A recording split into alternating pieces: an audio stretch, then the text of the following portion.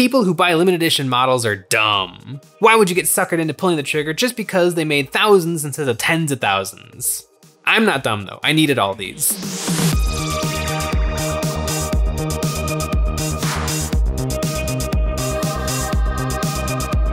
Limited edition models are a form of FOMO, the fear of missing out, which is a bad thing. It's a manipulation. It's an attempt by companies to coerce customers into buying, like it's objectively bad. But it's also kind of fun, right? Let me put on my shill hat for a second. All entertainment is exchanging money for emotional manipulation. I mean, yeah, some things are free. You can go for a walk or look at a tree, but if you want to have some real fun, you have to pay. Roller coasters make you feel fear and excitement for the cost of a park ticket. Movies make you feel intrigued or sympathetic, but you still have to buy, rent, or stream for the privilege. Miniatures are in the same boat. You want to experience the tactile enjoyment of building a model, the artistic satisfaction of painting, and the triumph of using that model on the tabletop? Well, you have to pay. And limited edition adds another layer to that transaction. In the world of miniature wargaming, few things spark the same amount of desire and panic as limited edition models you see something like Inquisitor Erasmus Cartavolnus, or you know, maybe you see Soulblight Gravelords Anasta Malkorion Vampire Lord, or you know, maybe you see a pilot Luke Skywalker and you think, oh yeah, I need that model and it's only available right now, so I have to buy. That reaction is part of the fun. That feeling you get in your gut of I need it, I want it, I'm gonna try to get it, is fine. I'm not saying FOMO is great and we should all just buy everything. What I'm saying is I don't have a problem with cool count as or alternate sculpts that are limited in number and cost the same as a regular model. I think it adds to the excitement of the miniature hobby. I do have a problem with very expensive limited edition bundle boxes, but that's a story for another day. Making something limited edition is supposed to increase demand and create greater sense of value in that thing. But when it's just a model, we know exactly what the value is going to be, and the value is subjective. And not every limited edition model is just a marketing strategy. I have a lot of miniatures for the game uh, Mars Attacks by Mantic from 2015, and that game is no longer made. So technically, the entire model range is limited edition. Same with Mongoose Publishing's 2007 game, Starship Troopers. That game has been out of production for years, so every time I see one of those miniatures, I get the same butterflies in my stomach of, ooh, I should buy that right now. I think limited edition models are just another part of the hobby and I have maybe indulged a few too many times because I have not only a pile of shame, but I have a limited edition miniatures pile of shame. And so I think it is time to tackle this most shameful of collections. I'm going to paint these miniatures up, but I'm not just going to paint them. I am going to really put all of my efforts into painting these models. Because they're limited edition, I feel like I have a lot more attachment and I I have a lot more value that I place on these miniatures, so I want to get the maximum amount of enjoyment and satisfaction out of these miniatures. So I am going to be painting full ballsack. It's time to get to work. All right, let's get this limited edition paint party started hot with Inquisitor Erasmus Cartavolnus, my newest limited edition model.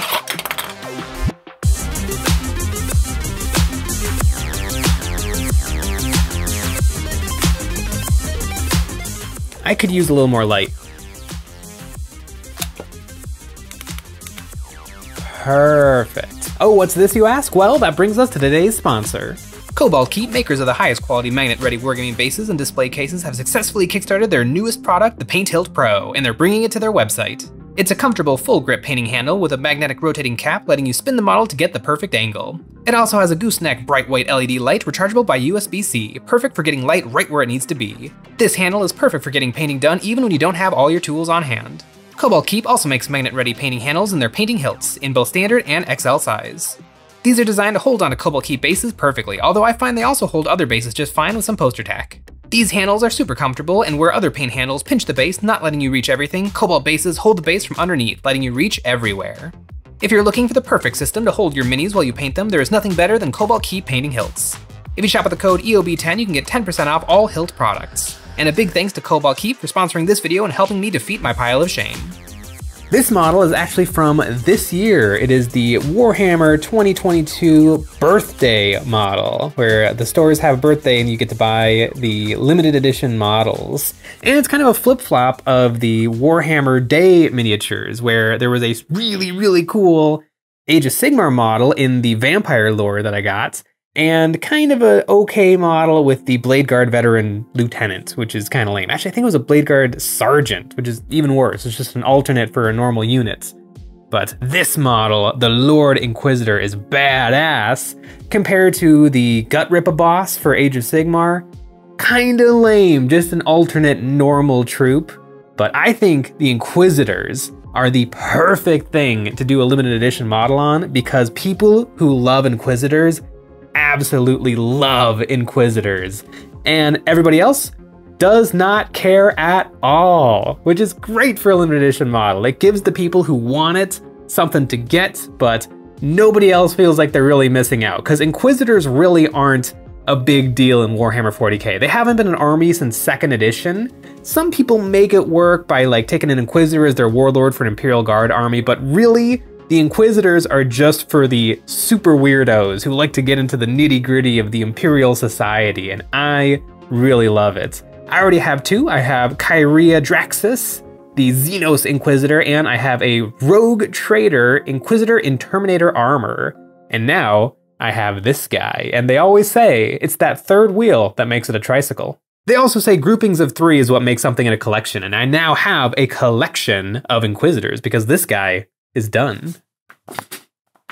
Ooh, Inquisitor Erasmus Cartavolnus, painted to the best of my abilities, and I continue to be very impressed with Army Painter's speed paints.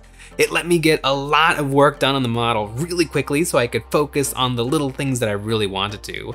One of those things being object source lighting. Object source lighting is one of those magical things that some of the best painters in the world can do, and it's so hard and amazing. It's recreating light in a 3D environment where, you know, light exists, but faking it, making it uh, sort of 2D in a 3D model. I don't know.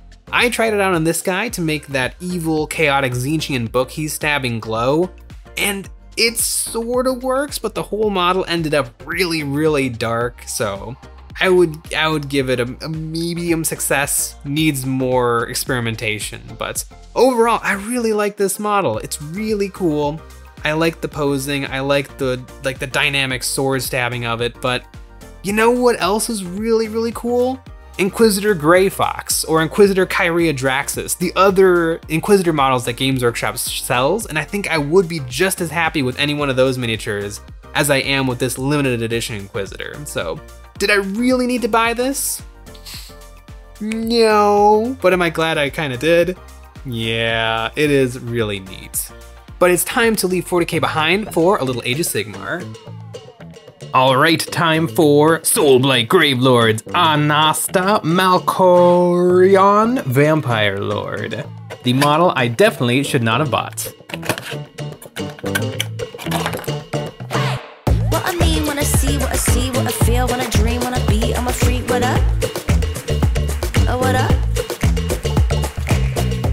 Don't know why I bought this model. This model is from Warhammer Day 2021, and I remember being very unimpressed with the Warhammer 40k model. It was a Bladeguard veteran, uh, sergeant, or no, lieutenant. No, it was a sergeant, and it was just a normal guy. And I was really disappointed because the year before I had actually gotten the Warhammer model, the 2020 model, the Chaplain in Terminator armor, and it was super cool, and I painted it up to the best of my ability, and it was awesome. But I wasn't feeling the Warhammer model from that year, but I was kinda digging the Age of Sigmar model, the Vampire Lord.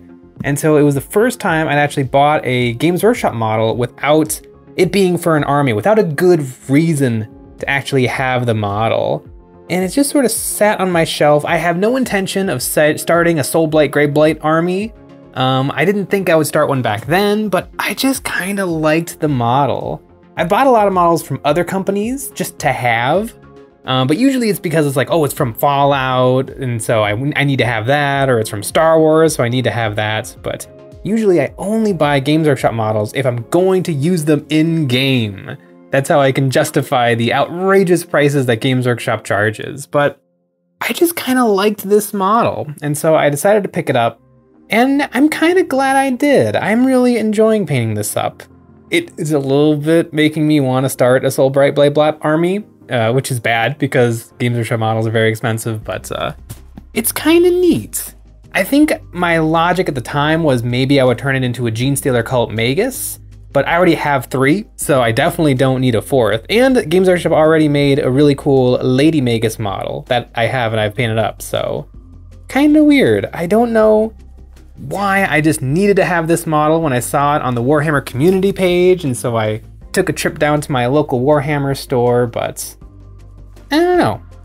I think it has something to do with how Age of Sigmar models are just a little bit silly, and I like a little bit of silly. I've painted probably over 1,000 Warhammer 40k miniatures, and 40k can be silly too, but it's often just, you know, guns and pouches and armor and paint chipping and streaking grime, where a lot of Age of Sigmar stuff just feels like it's a lot more lighthearted. And this model is definitely very silly. And it is just about done. Boom! That is a Vampire Lord, and boy oh boy, I had a lot of fun painting this model. It is an absolute cartoon character standing on a very realistic cobblestone base. Um, my reference material for this was the Yu-Gi-Oh card Vampire Lady, and I definitely nailed it with the jade skin and pink and red clothing. I really, really like this model.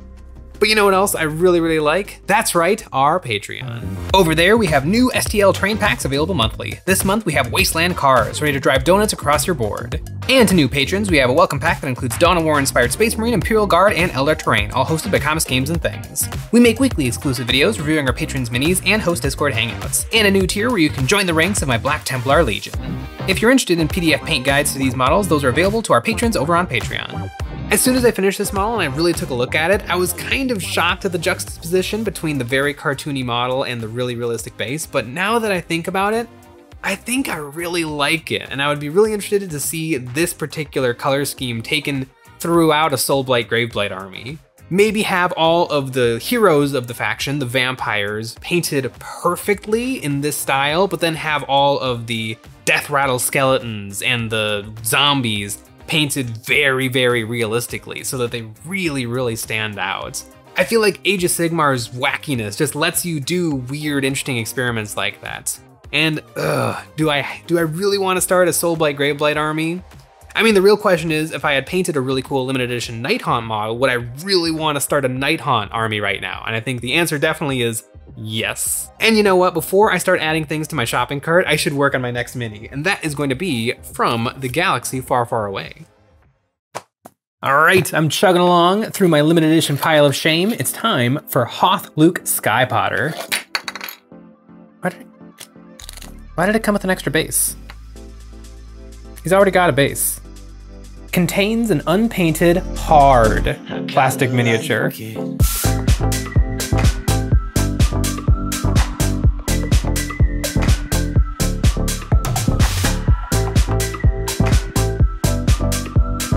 This is limited edition Luke Skywalker Commander expansion for Star Wars Legion. And in my opinion, one of the more egregious limited edition models because this is Pilot Luke, and Pilot Luke is a really, really cool Luke.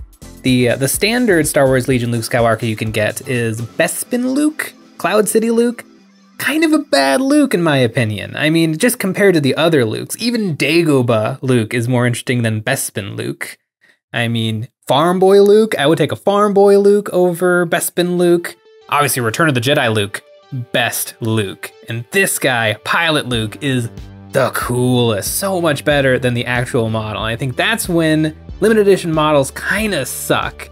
Everybody wants Pilot Luke, but very, very few people get to have Pilot Luke because this is a limited edition model. They're not making more of these. This is it.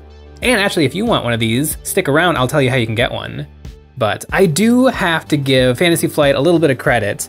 It's really cool how they released this model. They gave this model to friendly local game stores. I think each store could order up to three, and then they could do with them what they wanted.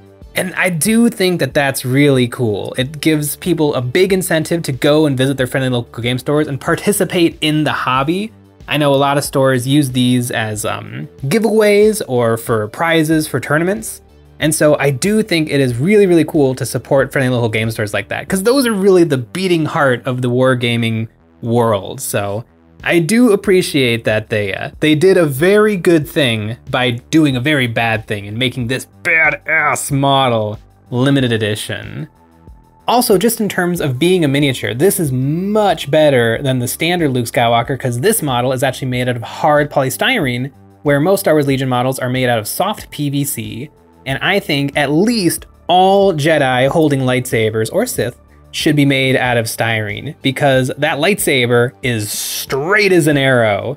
Where a lot of the PVC lightsabers, they have a little bit of a bend from being in a little Ziploc baggie. And you don't, you don't want a floppy lightsaber. Luke Skypotter is finished. Let me show you what I managed to do. This is my best painted Star Wars Legion model, and it better because it's I think it's the coolest. Good old fashioned pilot Luke. I do think my Pilot Luke ended up a little bit too dark.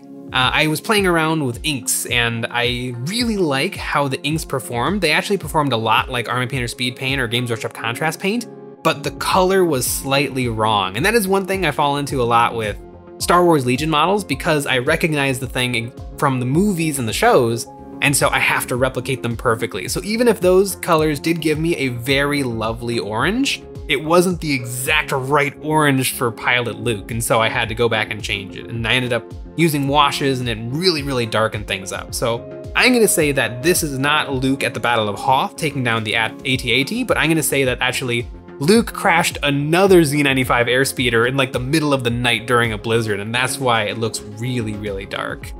I also tried a little bit of object source lighting coming off of this lightsaber, and there's two different ways really you can do lightsabers. You can either do white at the bottom with uh, the light, with the, the color of the blade blue illuminating up the top.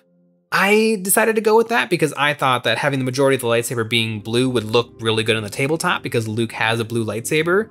But the way to make things look brighter is to have it be closer to white. And so a little bit of blue at the bottom with a blade of white would probably make it look maybe a little bit more like a lightsaber or maybe a little bit more powerful, but I don't know. That's that's an experiment I'll have to run maybe on the next Star Wars Legion model I paint.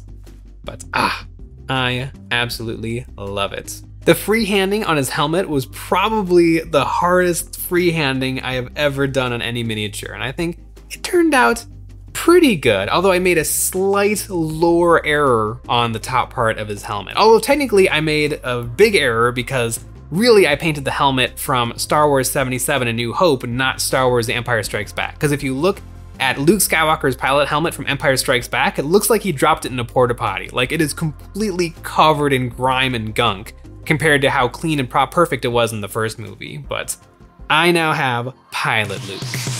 I have finished three more models from my vast pile of shame, but I feel good. These models were extra shameful as not only did I buy them, but I had to go out of my way to buy them. I fought for these models, and then put them in a drawer and forgot about them until now.